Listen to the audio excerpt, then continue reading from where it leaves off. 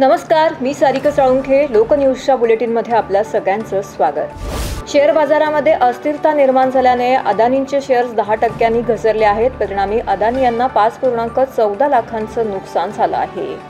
स्वयंघोषित आसाराम बापू यांना गांधीनगर कोर्टाने दणका दिला आहे.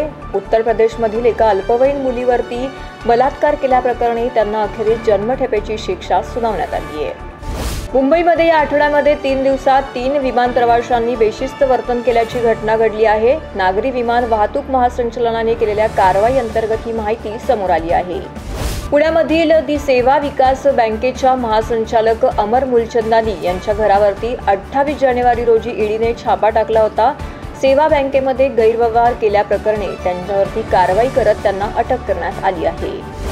माजी मंत्री व शिवसेनेचे गटनेते अनिल परब यांच्या मुंबई कार्यालयावरती कारवाईचा बडगा उगारल्यानंतर अनिल परब यांनी थेट पत्रकार परिषद घेत भाजपा नेते किरीट सोमय्या यांच्यावरती हल्लाबोल केला आहे. महाराष्ट्र राज्य लोकसेवा आयोगाकडून करण्यात आलेला बदल दोन हजार तेवीस ऐवजी दोन हजार पंचवीसपासून लागू करावा अशी मागणी विद्यार्थ्यांनी केली होती. या मागणीला अनुसरून घेतलेल्या बैठकीदरम्यान विचार केला जाईल अशी माहिती उपमुख्यमंत्री देवेंद्र फडणवीस यांनी दिली आहे.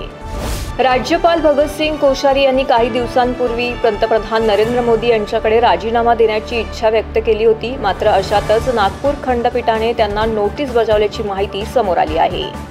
जम्मू काश्मीर हिमाचल प्रदेश आणि उत्तराखंडामध्ये मोठ्या प्रमाणामध्ये बर्फवृष्टी होत आहे. अशातच उत्तर प्रदेशामध्ये पावसाची दाट शक्यता असल्यामुळे येथे थंडीचं प्रमाण देखील वाढलेलं आहे.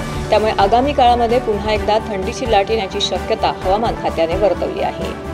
लोकन्यूजच्या बुलेटिनमध्ये आज इथेच थांबू. तोपर्यंत नमस्कार. ठाण्यातील आणखीन काही विशेष घडामोडी पाहण्याकरता लोकन्यूजच्या फेसबुक पेजला लाईक करा आणि यूट्यूब चॅनलला सबस्क्राईब करा.